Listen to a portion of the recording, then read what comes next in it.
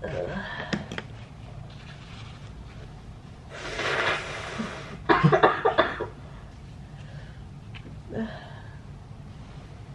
can accept the sore throat and like maybe the minor body pains and the wet eyes and the plug nose. But can't that just all stop at night so we can get a good sleep? I'm very happy that this video is sponsored by Bare Minerals because it forces me to put on makeup and not look like a troll today. Okay, here's my shopping list for Sig Asia. And it's right next to my very first, or I guess my very second budget, guys. How funny is that?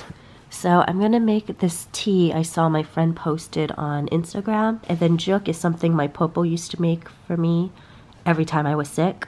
So um, I'm gonna pick these things up later today and hopefully it'll work. Guys, I put on like a real shirt for the first time in like two days. So big things are happening for me today. You know, I do think it's kind of the season of just everyone not feeling 100%.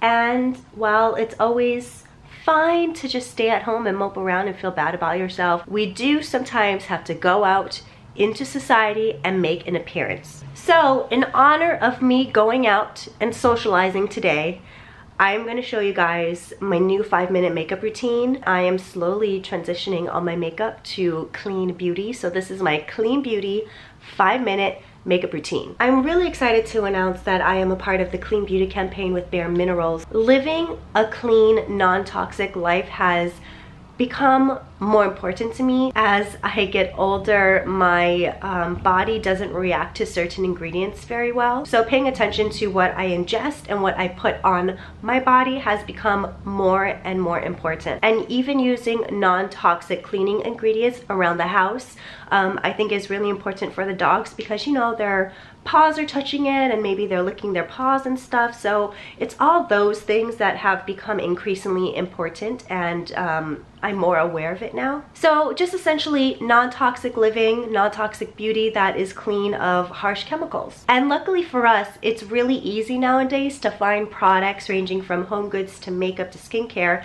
that are toxic free. I have been slowly sharing some of my favorite at least home good products that are non-toxic on my Instagram because I've been ordering them more and more but today is the makeup beauty version of that. Okay let's get started. You guys have no idea how hard that intro was. wash my face, put on SPF. Since this does focus on more of the complexion, I've already done my brows. So we're gonna begin with the Bare Minerals Original Loose Powder. This does have SPF 15 in it, but I always just like to be super cautious and careful and put sunscreen on anyways, just in case you just would I would rather be safe than sorry when it comes to sunscreen. And this is in Tan Nude. They're the originators, the OG of clean beauty, but actually this is the very first Bare Minerals and the um, original loose powder and the veil actually were my very first makeup purchases. My mom actually got me um, a set of Bare Minerals um, makeup for Christmas I think maybe in seventh or eighth grade. So it's actually kind of a big deal that I'm partnering with them today for this video because you know, they've been a part of my life for so long. So of course, talking from personal experience, I can tell you that not only is Bare Minerals an amazing brand, and a clean beauty brand, but they're a clean beauty brand without sacrificing performance and wear, and I think you'll really be able to see that throughout this video. The Mineral Foundation is full, packed full of good for you ingredients. In fact, it includes five mineral ingredients, which is really cool. And what I'm doing is I just removed the little cap, tapping out the powder into the cap. And now we're gonna go in with the beautiful finish brush. This brush was designed specifically to fit inside the cap. And as you can see, not only is the brush so soft, but the way it's designed is it keeps, it's like nicely packed and it keeps the mineral powder up top versus it seeping into the bristles. What we're gonna do is we're gonna take the beautiful finish brush and place it right in the cap and we're gonna swirl it in, making sure we get all of the mineral foundation goodiness into that brush. Okay, so swirly, swirly, swirly. And now it's done and we tap off the excess. Tap, tap, tap, tap. What we're gonna do is we're gonna buff the Bare Minerals foundation from the outside of the face in using circular motions. Wow, look at that color it already gave me.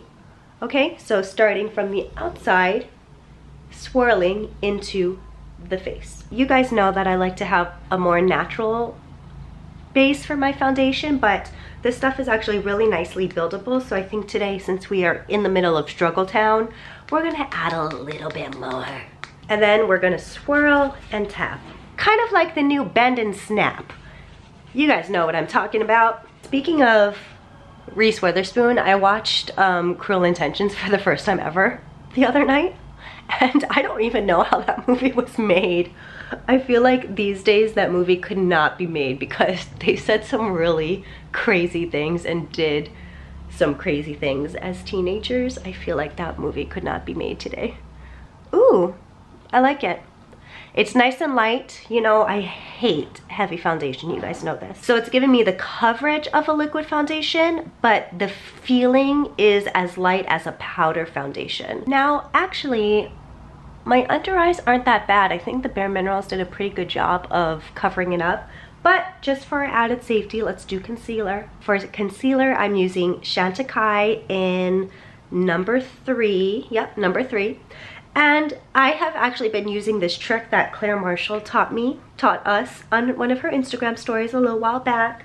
And what she does is she mixes a moisturizer or like a eye lotion within her um, concealer just like this. And not only does that help with obviously moisturizing the under eye area, which tends to be more dry anyways, but it gives you this luminous finish.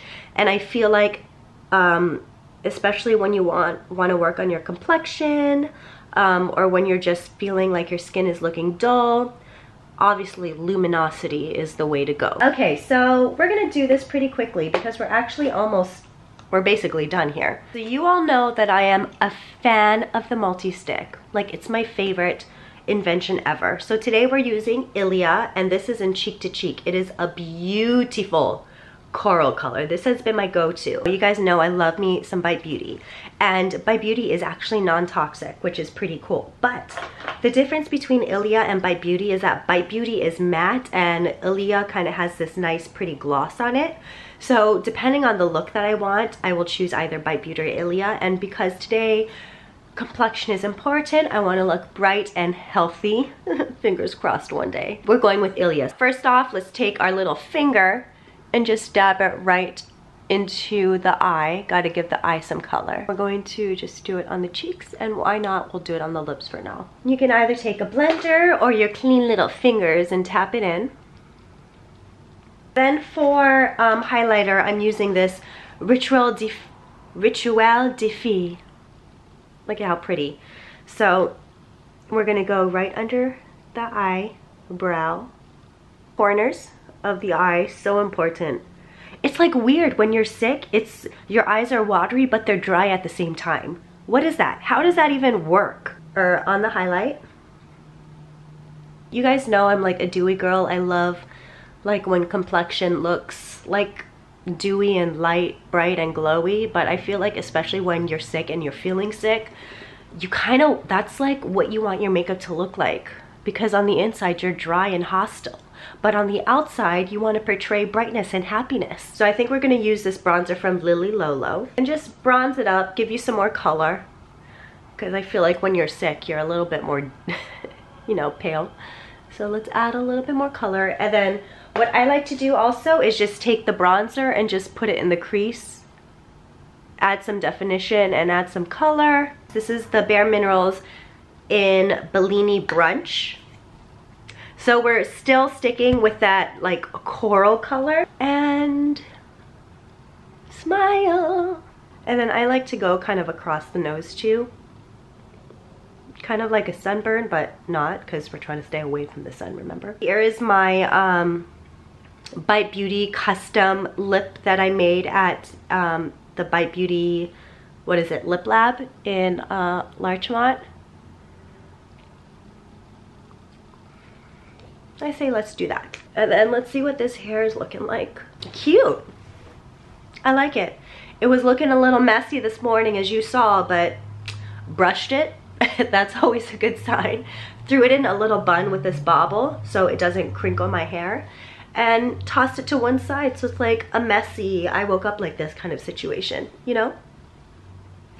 Look at me, I'm not sick, I'm fabulous. All for under five minutes, all using Clean Beauty this is kind of my go-to look. I mean, it's always been my go-to look, but these are my go-to products that I've been using for the past couple months. And it still gives me the exact same look and color payoff as products that I used to have that weren't clean and non-toxic, but it just gives me better peace of mind that what I'm putting on my skin now isn't harmful to me and to my body in any way. So, woohoo! Yeah, that's it. I look so much better, don't I? I don't I don't look like a scary ghost anymore. But um, I'm gonna leave the house now, run my errands, do it all uh, in a very quick amount of time so I can come back home and change back into my sweatpants and make some juk.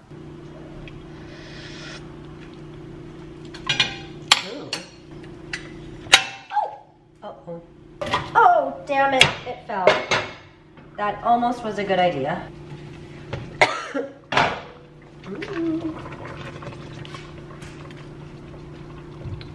Mm. Yummy. Here it is, the juk, homemade juk. And then this little tea, which I actually think is working because I'm getting a lot of phlegm out. So now it's time to eat dinner and hopefully after I'll feel way better. That's the day. Um, just for my own selfish reasons, Today's Vlogmas question of the vlog is what are some of your home remedies that you use when you're sick? Or maybe things that you crave or that your parents did like gave you or did to you while you weren't feeling good. Um, like juk is what my popo used to make me when I was sick. Let us know in the comments. All right, I'll see you guys tomorrow. Bye.